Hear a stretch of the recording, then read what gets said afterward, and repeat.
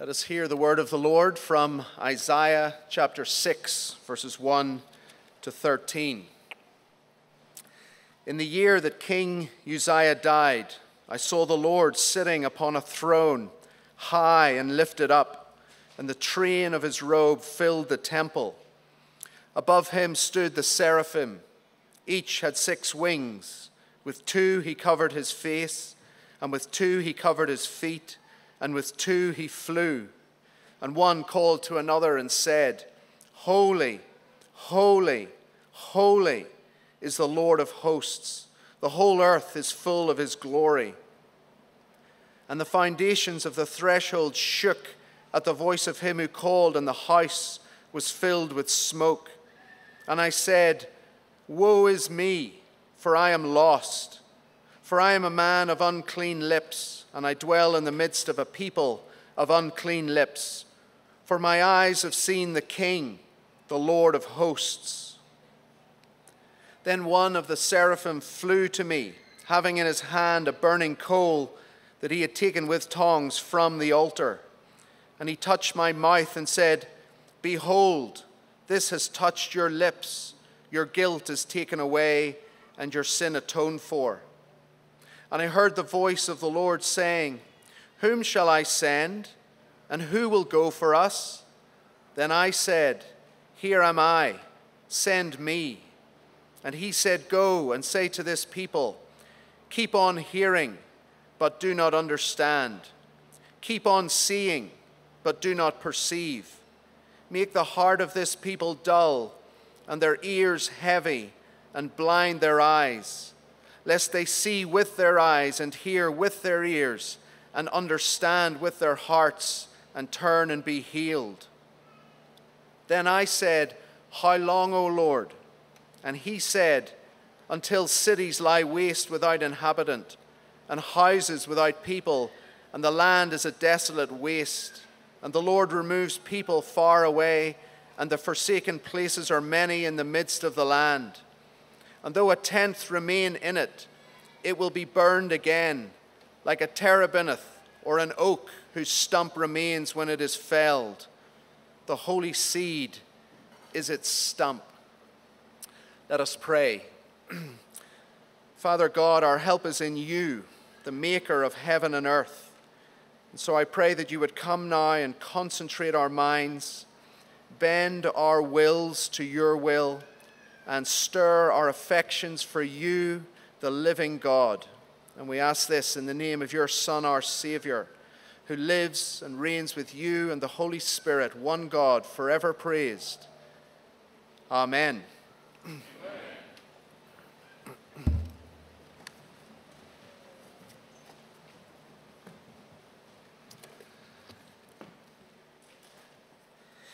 In the year that King Uzziah died. The opening words of this famous chapter in Isaiah strike an ominous tone. King Uzziah had reigned for 52 years over Judah, the southern kingdom of Israel. If I may be a, a wee bit British for a moment, uh, he was like Her Majesty the Queen of the United Kingdom, the longest serving monarch of the British Empire. Well, Uzziah was one of the longest serving reigning monarchs in the Davidic dynasty, over half a century. Second Chronicles 26, verse 4, tells us that he was a godly man and did, quote, what was right in the eyes of the Lord. And so the Lord blessed him. He had victories in battles over the Philistines and other nations. He strengthened the defense of Jerusalem with towers and reinforced the city walls. He expanded Judah's agricultural productivity. He restored Judah's military power close to what it was in David's day. Here was a great king. Here was a beloved king. But his life did not end well. Uzziah became proud and presumptuous. On one occasion, he entered the temple to offer incense, something only the priests were allowed to do. When the priests confronted him, he began screaming at them in a rage, only to find leprosy breaking out on his scalp. As a result, for the last 10 years of his life, he lived in a separate house as a leper until his death in 740 BC. And in that moment of his death, in that moment of national mourning, the prophet Isaiah went to the temple, presumably looking for some consolation, because he had known King Uzziah personally. Isaiah was not like other prophets who were generally from working class backgrounds, like Amos the shepherd. Isaiah was a man of nobility, a prophet in the king's courts. He was like the queen's chaplain, the president's chaplain. He'd been at the king's dinner table for banquets. He'd been in the king's courtroom for the political discussions. He had walked the corridors of the king's palace and heard the royal rumors.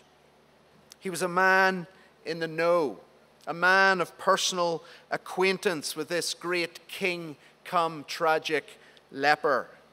And now Isaiah's world was falling apart because his king was dead. The great Uzziah, the beloved Uzziah, was now the dead Uzziah. The nation and the people had entered into a time of great uncertainty, of instability. Assyria was growing in power and invading other lands, and now there was this crisis in sovereignty.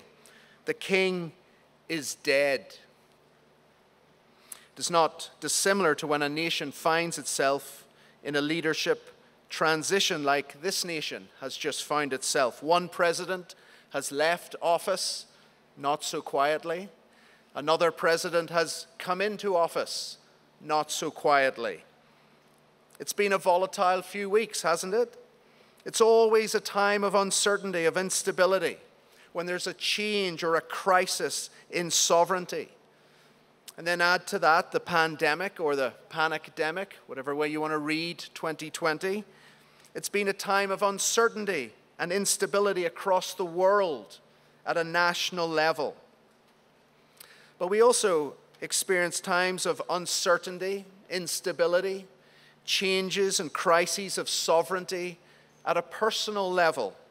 Every week we experience things that bring uncertainty and instability into our lives. Whoever we are, whatever age and stage of life we're at, Life can throw things at us that unsettle us, destabilize us. The tragic news about one of our children, the shocking diagnosis of cancer, whatever it is, it can unsettle us. And if some of those things are completely out of our control, then we are quickly reminded that we are not the kings and queens of our own lives. The king is dead because we're not the king or queen of our own lives. We're not in control. There's a crisis of sovereignty. And that's exactly what Isaiah experienced at a national and a personal level in the year that King Uzziah died. He realized that he and his king were no longer in control. And through that experience, Isaiah learned five things that he needed to know for his own life. There are five things that we need to know for our lives, especially at this moment in history as we seek to be faithful in our service in God's kingdom. Here's the first thing we need in moments of uncertainty and instability, in times of change and crises of sovereignty. We need to see the Lord on his throne. Verse 1. We need to see the Lord on his throne. In the year that King Uzziah died, I saw the Lord sitting upon a throne. Now, those opening words are quite surprising if you think about it. Not because Uzziah had died suddenly, as I mentioned earlier, he was unwell for the last 10 years of his life, so his death was not that surprising. The surprise is who Isaiah mentions after the death of Uzziah. We'd expect him to say, In the year that King Uzziah died, I saw Jotham, Uzziah's son, sitting on the throne. In other words, the king is dead. Long live the king. It's what happens in the transition in monarchies, in countries that have monarchies. In 1952, the newspaper headlines in Great Britain when King George VI died were The King is dead, long live the Queen. And one day in our time, we'll hear the words, The Queen is dead, long live the King. It's a saying that is meant to stop uncertainty, to stave instability, to solve the crisis of sovereignty. The king is dead, yes, but long live the king. And that's exactly what Isaiah sees, only it's not Jotham sitting on a throne, it's Jehovah sitting on a throne. The king is dead, yes, and long live the king. This is what Isaiah needed to see in the midst of uncertainty and instability in the crisis of sovereignty. He needed to see not Jotham sitting on the throne, but Jehovah sitting on the throne. He needed to see the Lord on his throne. It's what we need to see at any point in a nation's history, at any point in our personal lives, at any point in a world crisis. We need to see the Lord sitting on his throne. And when I say sitting, I don't mean he's sitting on the edge of his throne, getting a wee bit anxious about what's going to happen next. He is seated on his throne. When our world is in crisis, God is not in crisis. He is seated on his throne. When the world is battling a coronavirus, God is not panicking. He is seated on his throne. This is the first thing we need to see when our world falls apart internationally, nationally, personally. We need to see the Lord seated on his throne. Second, we need to see the Lord in his holiness. We need to see the Lord in his holiness, verses 1 to 3. In the year that King Uzziah died, I saw the Lord sitting upon a throne, high and lifted up, and the train of his robe filled the temple. Above him stood the seraphim. Each had six wings. With two he covered his face, with two he covered his feet, and with two he flew, and one called to another and said, Holy, holy, holy is the Lord of hosts. The whole earth is full of his glory. Notice what Isaiah sees the Lord seated on a throne. He's reigning. The Lord high and lifted up. He's exalted. The train of his robe filling his temple.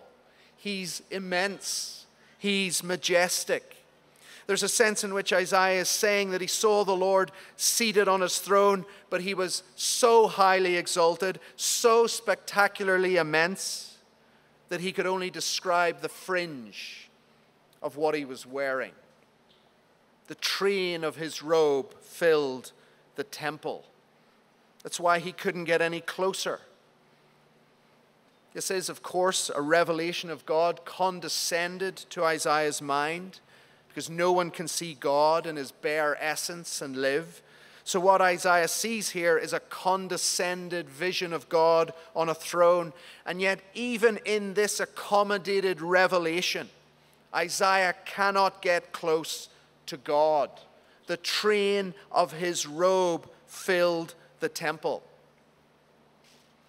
When Elizabeth II was coronated as Queen in 1952, she walked into Westminster Abbey in London and sat down on her throne. She wore a beautiful white royal dress with a long train.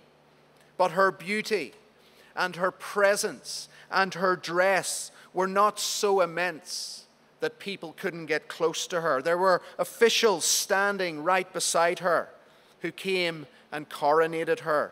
Her train was big, it was long, it was magnificent, but it didn't fill Westminster Abbey.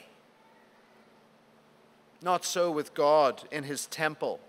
In the inner sanctum of God's temple, there is no room for a person to get close. He is so highly exalted, so spectacularly immense, that you can only begin to describe the edge of his majesty, the tip of his robe.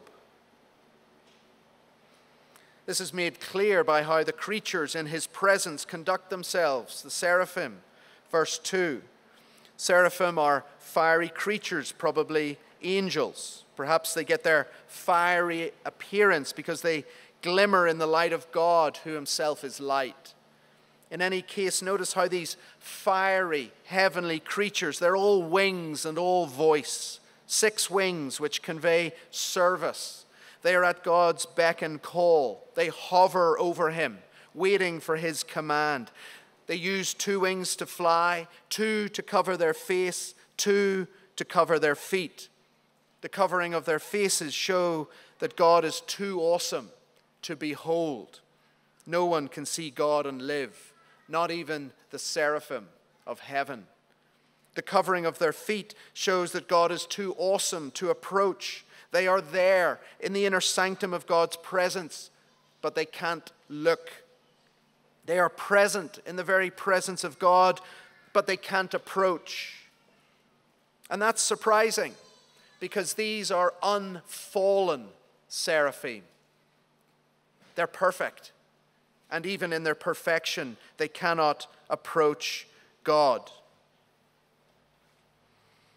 Their conduct underscores their creatureliness. However, there is one thing they can do they can sing like angels.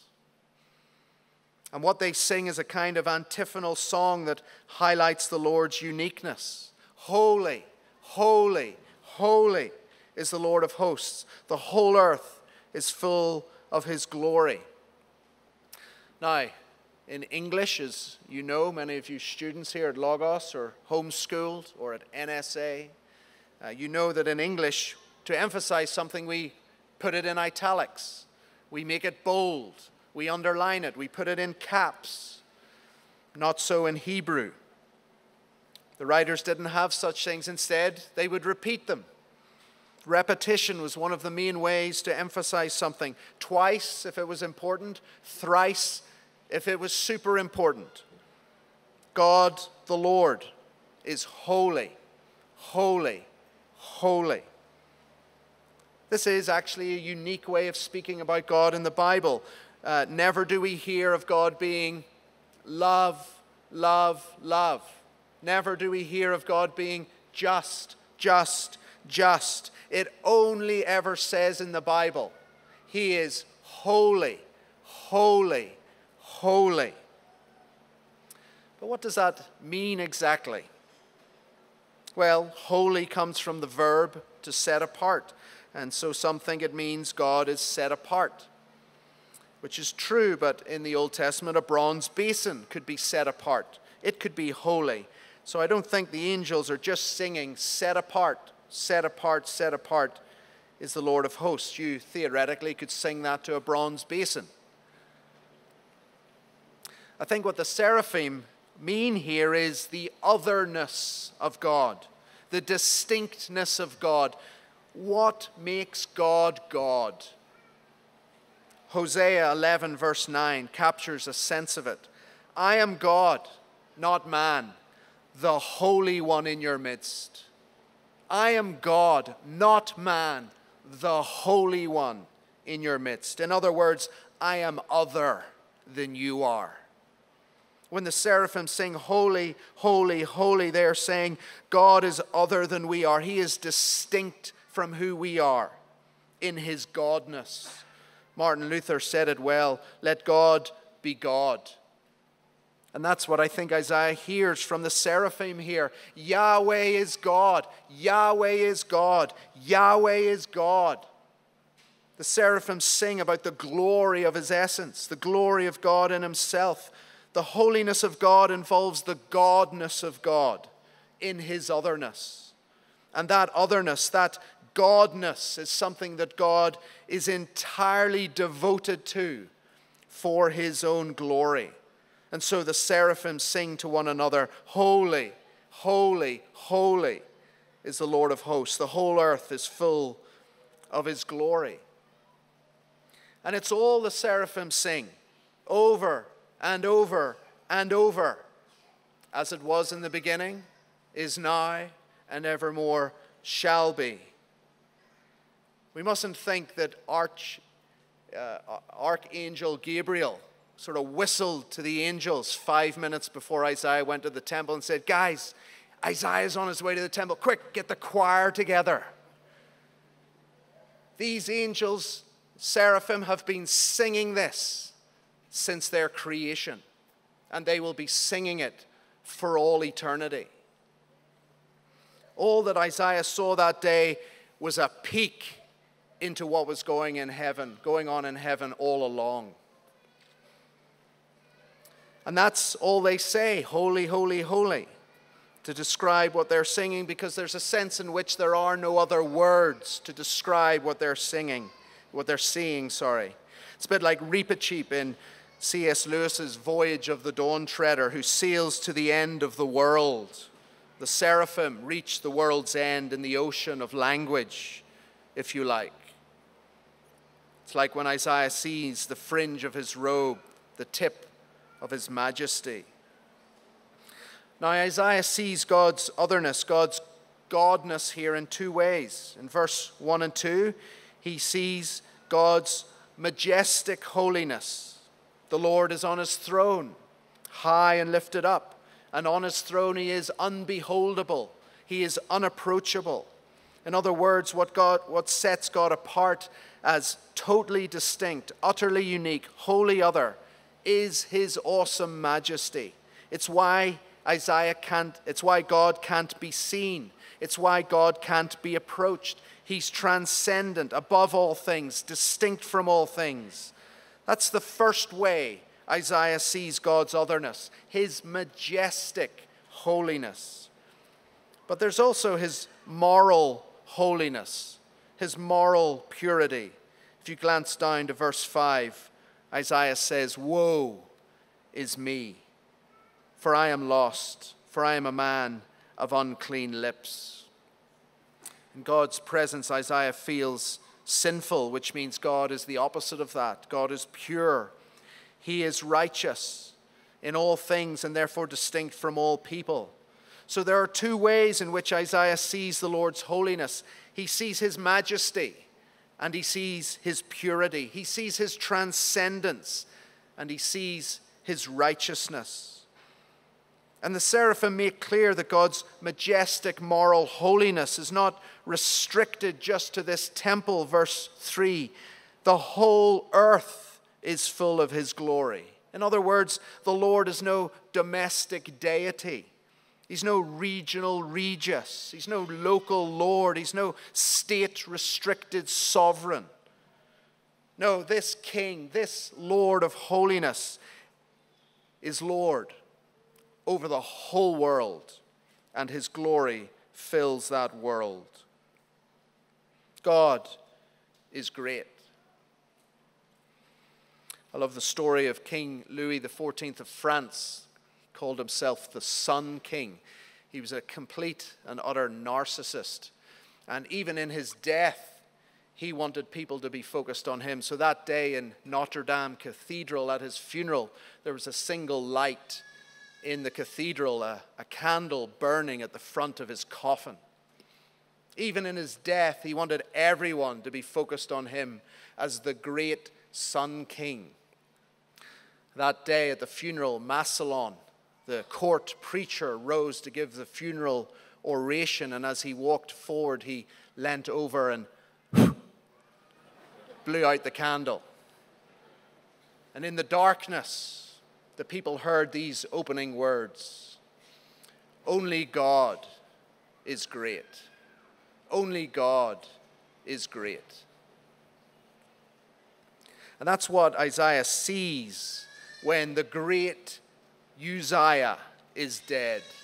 Only God is great. And it's what we need to see when the king is dead, when one president leaves and another one enters, when a nation enters a time of uncertainty and instability, when there's a change or a crisis in sovereignty, We need to see the Lord seated on his throne, and we need to see that only he is great.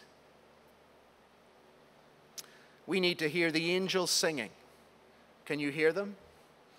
Holy, holy, holy is the Lord of hosts. But there's something else we need to see. Having seen the Lord on his throne, having seen the Lord in his holiness, third, we need to see ourselves in our sinfulness. We need to see ourselves in our sinfulness. Verses 4 and 5. When you are confronted with God Himself, you never come away unchanged or unmoved. You can't. Not even the temple does, verse 4. And the foundations of the threshold shook at the voice of Him who called. Even the bricks were shaking at the song of the seraphim. And to the sight and the sound is added the smell of the smoke of incense coming from the altar of incense. The smoke was meant to convey that the naked human eye cannot look upon God. Though the eye of sinful man your glory may not see. Again, we're back to the earlier point. Isaiah sees the Lord, and yet he only can describe the fringe of his robe. Isaiah sees the Lord, and yet the smoke is rising and blinding him. And what becomes blindingly obvious to Isaiah now is that he cannot approach. The foundations of the doorways are shaking, so there's no way for him to get in. He can't even sing either. Verse 5 He is a man of unclean lips. The seraphim can't look, the seraphim can't approach, but they can sing. But not Isaiah. He can't look, he can't approach, and he can't sing. He's drawn to the sight of God seated on his throne. He's drawn to the singing of the seraphim, and now he is repelled by it all. Woe is me, for I am lost. Woe. Whoever says woe anymore? well, someone who's been in the presence of a thrice holy God. The word is tied to the curses of the Old Testament. It's the opposite of blessed. Isaiah realizes he's cursed, he's doomed, he's lost, but only after he's first experienced the wow. The woe only comes after the wow of what he sees. The word lost here comes from the word to be silenced, which means he can't sing along with the seraphim. But it's more than just being lost for words. Lips reveal hearts, as Jesus taught us. Out of the overflow of the heart, the mouth speaks. James says the tongue corrupts the whole person. The lostness that Isaiah sees here and feels here does not relate to a compartment of his life, just to his lips. No, the lostness is the whole of his life. What's exposed here is not so much Isaiah's lips, but his heart. He feels lost at the core of his being. He comes apart at the seams, what modern psychologists would call disintegration. He disintegrates in the presence of this God. Here is a man who had it all together a prophet in the royal courts of the great king of Uzziah, and now here he is in pieces. Boys and girls, he was like Humpty Dumpty. You know that rhyme? Humpty Dumpty sat on a wall, Humpty Dumpty had a big fall, and all the king's horses and all the king's men couldn't put Humpty Dumpty back together again. Why? Because he's in pieces. And that is how Isaiah felt like Humpty Dumpty, in pieces in the presence of God. He lost all of his integrity. Here was the prophet who had earlier rebuked the nation for their sinfulness in chapters 1 to 5. And now he's got to deal with his own sinfulness in chapter 6. Because he's just like them. Woe is me, for I am undone. But notice why Isaiah is undone. Notice why he's fallen to pieces, verse 5. For, for my eyes have seen the King. Do you see it? No pun intended.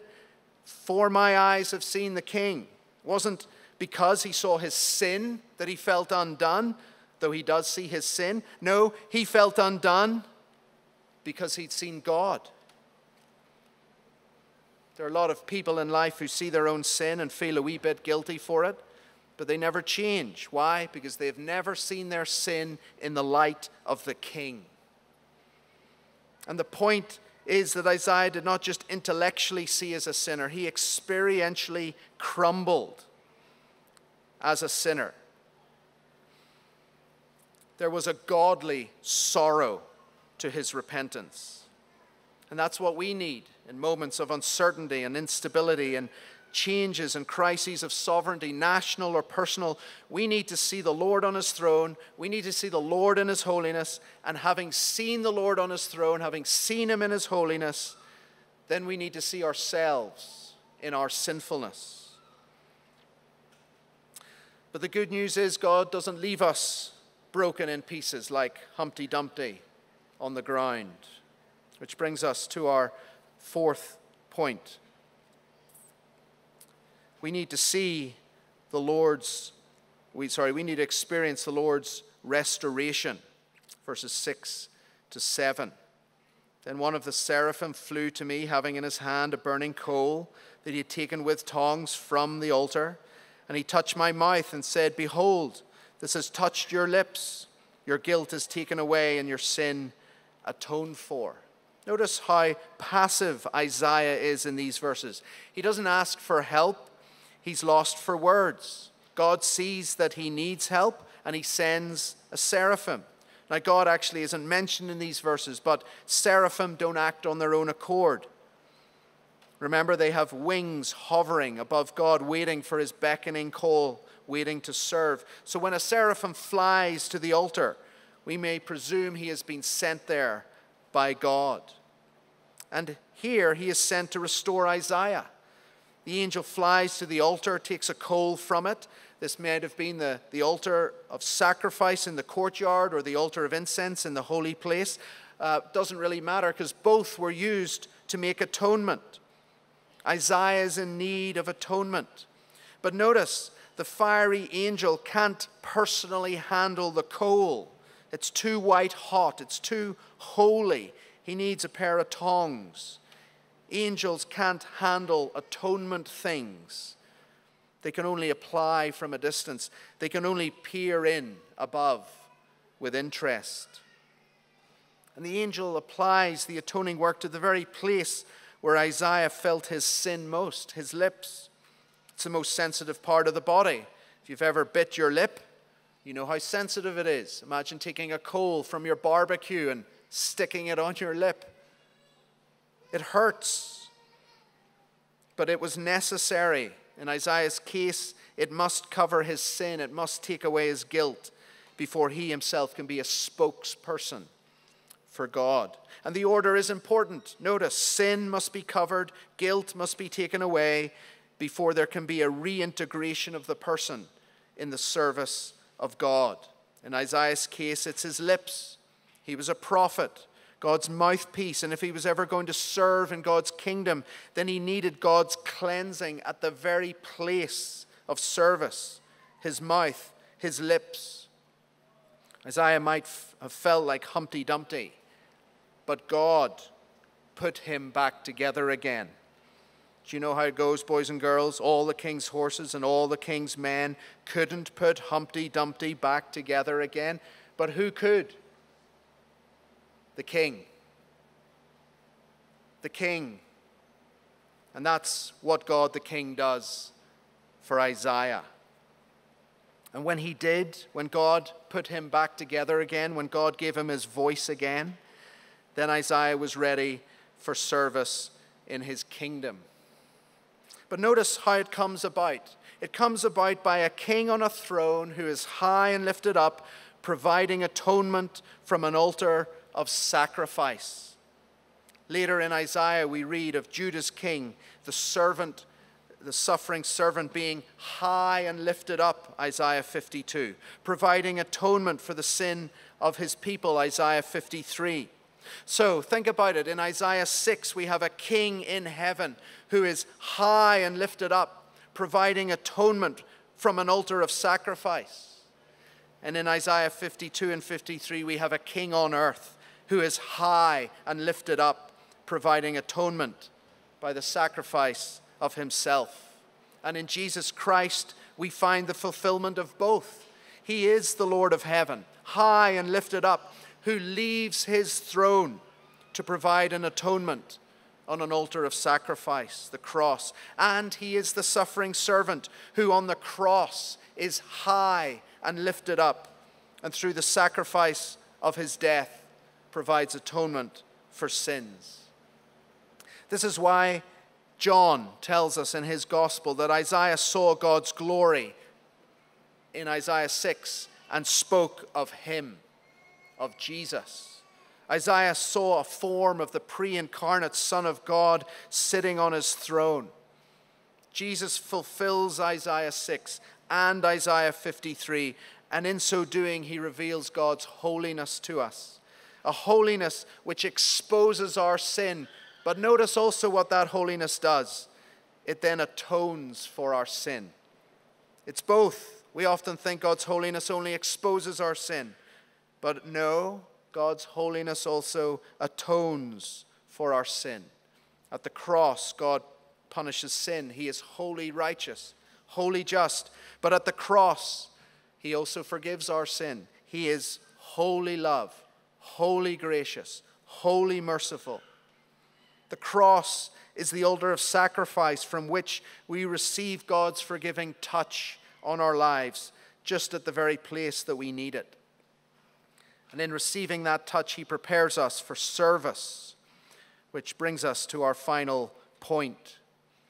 If we've seen the Lord seated on His throne and the Lord in His holiness, if we've then seen and felt our own sinfulness and experienced the Lord's restoration, then finally, we need to give ourselves to the Lord's mission. We need to give ourselves to the Lord's mission, verses 8 to 13. If the first half of the chapter is Isaiah's vision, the second half is Isaiah's commission. But it's probably the biggest anticlimactic commissioning service you could ever attend, even though God now speaks for the first time. Verse 8 and I heard the voice of the Lord saying, Whom shall I send? And who will go for us? Isaiah responds willingly, Here I am, send me. And then look at the calling he has, verse 9. Go and say to this people, Keep on hearing, but do not understand. Keep on seeing, but do not perceive. Make the heart of this people dull and their eyes heavy, and blind their eyes, lest they see with their eyes, and hear with their ears, and understand with their hearts, and turn and be healed. Some commentators try to soften these verses, uh, but I don't really think there's any way around them. Isaiah's ministry will be a ministry of hardening that leads to judgment. Even Isaiah is somewhat puzzled by it. And so he asks, verse 11, Well, how long am I going to be the prophet of bad news? How long is that going to go on for, Lord? To which he replies, Until cities lie waste without inhabitant, and houses without people, and the land is a desolate waste. And the Lord removes people far away, and the foreign and the forsaken places are many in the midst of the land. And though a tenth remain in it, it will be burned again like a terebinth or an oak whose stump remains when it is felled. In other words, Isaiah's ministry is one of bringing about the inevitable judgment of God on people, on his people, which will result in a foreign invasion, first Assyria, then Babylon, where they are taken off to forsaken lands into exile. God wants Isaiah to be the preacher that hardens the heart that deafens the ear, that blinds the eye, so that judgment will fall. It was the same with Jesus' preaching. He taught in parables so that people would not repent, but continue to be blind and unrepentant. In fact, Jesus quotes Isaiah 6:10 and Mark 4, explaining why his preaching hardened the heart of those who heard it. But, and it's a very important but, Jesus hardened people's hearts, but in the end, it was a means to another end, the means towards the end of salvation. Jesus hardened the hearts of people and the religious leaders so that they would eventually crucify him And what came out of the crucifixion? The salvation of the world. It was a, salva- a, a judgment salvation event, salvation through judgment. That's the two beat rhythm of biblical history judgment, salvation, judgment, salvation, judgment, salvation. And that is why salvation, not judgment, is the final word of the gospel. And it was actually Isaiah's final word in his ministry. Did you note what it says at the very end of verse 13? And the holy seed is its stump. If you've ever cut a tree down in your garden, uh, you know that in order for it not to grow back, you've got to poison it within the first 30 minutes or so. If you don't, then that tree, what's going to happen to that stump? Uh, it'll just start growing a little shoot. The tree's going to grow back. And that is what God is saying here. He is going to fail Israel, He's going to fail Judah. But there will be a seed that will be the stump, and from that stump, there will be a little shoot. There will be a few survivors through the exile, and then ultimately there, there will be one survivor, the remnant, the suffering servant king, who himself will be saved through judgment for the salvation of the world. In his judgment, God leaves only one holy seed. He leaves just one righteous man hanging on a cross. And from that one bloodied man on a cross, from that stump, a shoot will begin to spring, and that single shoot will transform the whole world. That is the last word of the gospel, not judgment, but salvation which means that being part of God's mission is well worth our time and commitment because God is saving a people for himself through judgment for the salvation of the world. For each of us, that might look different. Some of us might go to the nations, others will stay here and pray and give and serve in this church. But we are all involved in God's mission that through judgment, He is going to save a people for Himself. And if we've seen the Lord seated on his throne, if we've seen the Lord in his holiness, if we've felt our sinfulness and experienced his restoration, then how else should we spend the rest of our lives but in the service of this King? Let us pray. Father, you have exalted your Son to the highest place in this world, to your right hand. And as this nation enters a new era under a new president, help us to remember that Jesus Christ, your Son, is King of all kings and Lord of all lords. Remind us that he is seated, reigning, ruling, and soon to be returning. And while we wait for him to come and crush our enemies, the world, the flesh, and the devil, Help us to serve him with repentant but glad hearts, for your Son, our Savior, is King. And so it is in his name we now pray the words that he taught us to pray. The tenth commandment prohibits coveting anything that belongs to our neighbor. This is not merely a negative command, however, it also implies a positive one.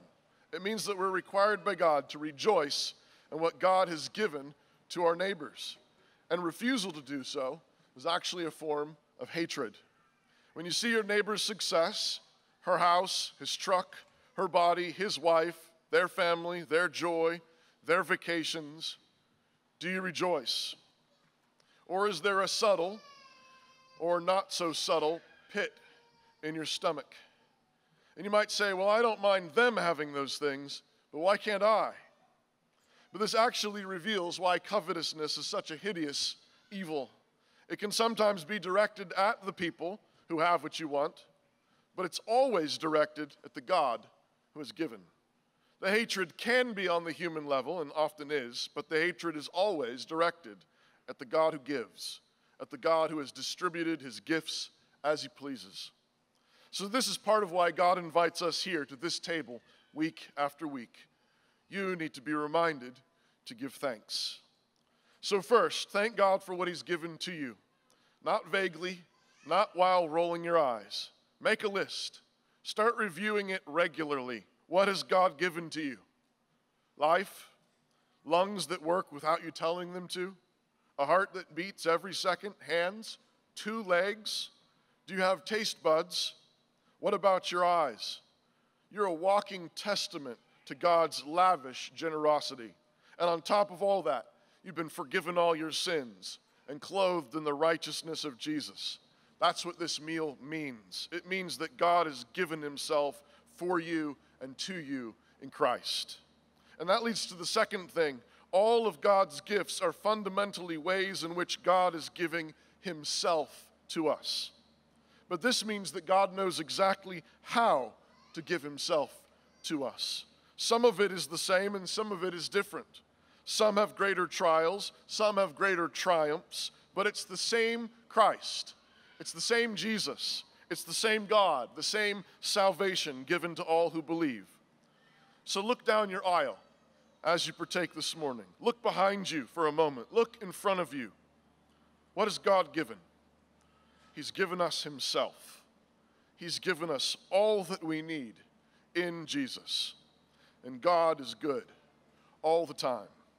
So come and welcome to Jesus Christ. There's a great episode in the Gospel of Luke that echoes a lot of the themes that you've just heard in from Isaiah 6. In Luke 5, Jesus takes the, the, the, disciples out fishing just before they've been called as fishermen. And, and of course, then they've, they've been fishing all night. There's no fish. You throw them they throw out the nets. They haul in this massive haul. And, and Simon, Peter, falls on his knees and says, Get away from me. I'm a sinful man. It's, it's, it's, this glorious echo. And of course, then Jesus is about to call him and says, It's okay. It's okay. I have work for you to do. It's a very similar story. But one of the glorious things about that story is in that moment, one of the things that Luke does, maybe he got it from Peter, is the first time Simon's called Simon, Simon, Simon, all through there. And then right in that moment, when he falls on his knees, it says, Simon Peter fell on his knees. There's other episodes you know where Simon gets the name Peter. But in Luke, there's a subtle point. When you're on your knees, before the king, you are who you really are. Do you want to know who you are? Do you know, want to know what you're for? Then fall on your knees. He is the king, and he is for you all that you need. Receive with believing hearts the blessing of your God now. The Lord bless you and keep you. The Lord make his face shine upon you and be gracious unto you. The Lord lift up his counts upon you and grant you his peace. And amen.